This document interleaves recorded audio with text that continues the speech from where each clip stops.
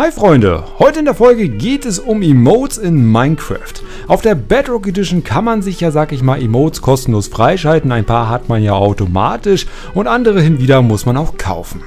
Heute schauen wir uns mal an, welche Emotes man sich theoretisch noch kaufen könnte, die man mehrmals verwenden kann und nicht nur für eine Situation nutzen müsste. Selber habe ich mich davon eigentlich relativ viel ferngehalten und eher mehr die kostenlosen Emotes genutzt, da mein ja, Minecraft sehr doll geleckt hat auf der alten Konsole. Aber nun ist das alles vorbei und ich kann da auch hier einmal ein bisschen nachrüsten. Und das wollen wir heute machen und ich werde mal ein bisschen einkaufen gehen und mir ein paar Emotes einfach mal, ja, einfach mal runterladen. Äh, warte mal. Seht ihr das auch? Ich habe hier noch ein Emote noch gar nicht freigeschaltet. Dafür fehlt mir noch ein Erfolg. Ähm, welchen brauche ich da eigentlich? Werfe 100 Meter weit eine Enderperle? Na warte, das kriegen wir hin. Das mache ich mal kurz. Per Zufall ist hier noch ein Freund dabei, der mir mal kurz geholfen hat. Äh, wir haben so circa 15 Minuten gebraucht, um einen Enderman zu finden. Und nun habe ich eine Enderperle und werfe die einfach mal. Gar nicht mal so schwer, hier eine Enderperle zu werfen. so, 100 Meter haben wir geschafft. Vielen Dank, mein Freund, dass du mir hierbei mal kurz geholfen hast. Natürlich wollen wir diesen Emote noch einmal freischalten. Jawohl, und da haben wir ihn. So viel natürlich zu den kostenlosen, wie die man einfach freischalten kann. Da sind schon ein paar tolle dabei, wo man einfach sagen kann, okay, damit kann ich leben. Trotzdem möchten wir einmal schauen, welche man nehmen kann. Nicht jeder Emote ist wirklich, sage ich mal, ein, den ich empfehlen kann, wo du sagen kannst, okay, lad dir den runter. Da viele, sage ich mal, so ausgelegt sind, dass du die wirklich nur für eine Situation nutzen kannst. Daher gibt es hier meine Top-Kategorien. Zum Beispiel Kämpfe. Ähm, da finde ich diesen hier ganz gut von Batman. Oder gibt es auch eine Situation, wo man einfach mal seinen Skin irgendwo hinsetzen möchte? Gibt es da vielleicht irgendwie so etwas? Wie zum Beispiel diesen Meditations-Emote, wo man sich wirklich hinsetzt und auch eine lange Zeit diesen Skin in dieser Position hält. Ich möchte ja nicht nur etwas haben, wo er nur eine Sekunde oder ein paar, ja, vielleicht zwei, drei Sekunden einfach nur auf der Stelle sitzt. Nein, ich möchte ihn doch über einen längeren Zeitraum auf einer Stelle haben. Das macht sich vielleicht auch gut, wenn man mit Freunden irgendwo, sag ich mal, im Survival, im Creative rumchillt und man möchte einfach ein paar Emotes anwenden und sowas passt da ganz gut.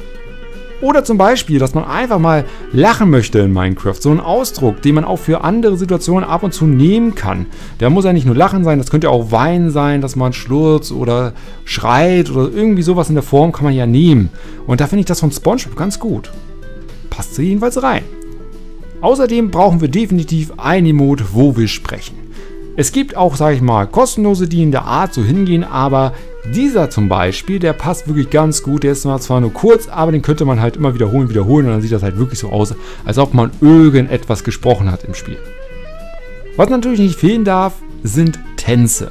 Es gibt viele, viele, viele Tänze im Shop, die man sich natürlich aussuchen kann. Aber dieser sticht heraus, den finde ich nicht schlecht, weil der auch ziemlich lange geht und viele verschiedene Posen annimmt.